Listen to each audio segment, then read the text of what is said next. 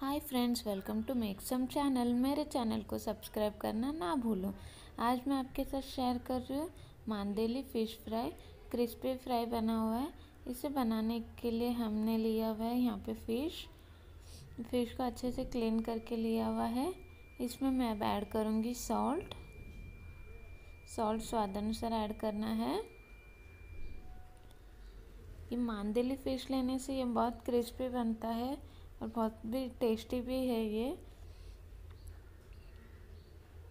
Salt के बाद मैं इसमें ऐड करूँगी जिंजर गार्लिक और ग्रीन चिली का पेस्ट आप चाहे तो सिर्फ़ ग्रीन जिंजर गार्लिक का ही पेस्ट ऐड कर सकते हो। मैं यहाँ पे ginger garlic plus green chilli का भी पेस्ट ऐड कर रही हूँ। और उसके साथ में ऐड करूँगी हल्दी पाउडर। और उसके बाद हम ऐड करेंगे यहाँ पे रेड चिली पाउडर। याद रखिएगा, ग्रीन चिली भी हमने ऑलरेडी वो पेस्ट में डाला हुआ है तो रेड चिली थोड़ा सा कम यूज़ कर सकते हो आप। अगर आपको तीखा ज़्यादा पसंद है तो ज़्यादा यूज़ कर सकते हो। रेड चिली पाउडर से कलर बहुत अच्छा आता है। इसके बाद में थोड़ा सा इमली का प्यूरे ऐड कर रही हूँ। आप कोकम का जो जूस रहता है वो भी ऐड कर सकते हो, या फिर लेमन का भी जूस ऐड कर सकते हो। तो खट्टे के लिए आप कुछ भी ऐड कर सकते हो। तो इतना ऐड करने के बाद मैं सारा चीज़ को अच्छे से मिक्स कर दूँगी मसाले को फ़िश के साथ। मिक्स करने के बाद तकरीबन 15 से 20 मिनट तक हमें ऐसे ही रखना है, इसे मैरिनेट करके। आप जितना टाइम मैरिनेट करोगे उतना ये मसाला अच्छे से सोख लेगा और बहुत टेस्ट भी रहेगा। अभी मैरिनेट हो चुका है। इसके बाद मैं फ्राई करने के लिए यहाँ पे रवा ली हूँ। इसमें और कुछ भी ऐड करने की ज़रूरत नहीं है, सिर्फ़ रवा से ही बहुत क्रिस्पी बन जाता है। अब मैं फ़िश को रवा में अच्छे से कोट कर लूँगी इस तरह से। इस तरह से कोट कर लूँगी मैं सारे फ़िश को। अब देख सकते हो अच्छे से कोट हो गया है।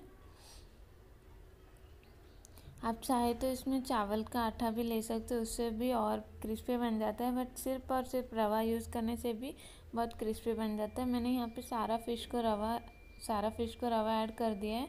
अब मैंने एक पैन में ऑयल रख दिया है। ऑयल गर्म होते ही इसमें मैं फ़िश ऐड ऐड कर दूँगी। तो इस तरह से मैंने सब फ़िश को ऐड कर दिया है। एक तरह से हल्का फ्राई होते ही इसको हमें टर्न करके लेना है। ताकि दूसरे साइड भी अच्छे से फ्राई हो जाए। इस तरह मैं यहाँ पे दो बार टर्न करके ले रही हूँ, अच्छे से फ्राई होने तक। तो यहाँ पे मैंने सारा फ़िश को टर्न करके लिया हुआ है। अब फिर से और एक बार टर्न करके लूँगी, जब दूसरे साइड अच्छे से क्रिस्पी हो जाए। इसका हल्का सा कलर चेंज होने तक फ्राई करना है। मीडियम फ्लेम पे रखना है गैस को, उससे फ़िश भी अच्छे से पक जाएगा। और फ़िश अच्छे से क्रिस्पी भी बन जाएगा। अगर आप हाई फ्लेम पे रखोगे तो फ़िश जलने का चांसेस है। तो यहाँ पे मैंने फ़िश फ्राई रेडी किया हुआ है। प्लीज़ इसे एक बार ट्राई करना ना भूलें, क्योंकि बहुत टेस्टी बना हुआ है। ऊपर से अगर आप लेमन का जूस ऐड करेंगे तो बहुत ही टेस्टी बनेगा। प्लीज़ इसे बनाना ट्राई कीजिए और मेरे चैनल को सब्सक्राइब करना ना भूलें।